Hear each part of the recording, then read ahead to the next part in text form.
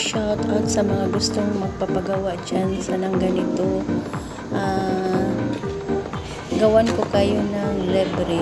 Basta, huwag nyo lang kalimutan i-subscribe ang channel ko at saka i-like. At saka i-hit nyo naman ang, ang notification bell baga para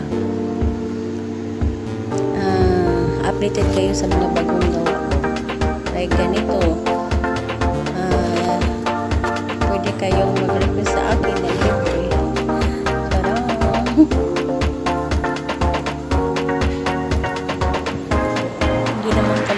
Guys madali gumawa nito.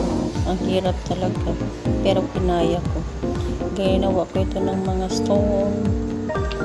Pinag ano ko lang, pinag-file ko lang yung mga stone at saka yung mga crack na ano simento dyan. Parang recycle ginawa ko.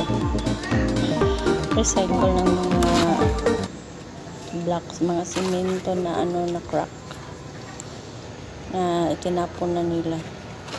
So, ginawa kong paraan na ganito.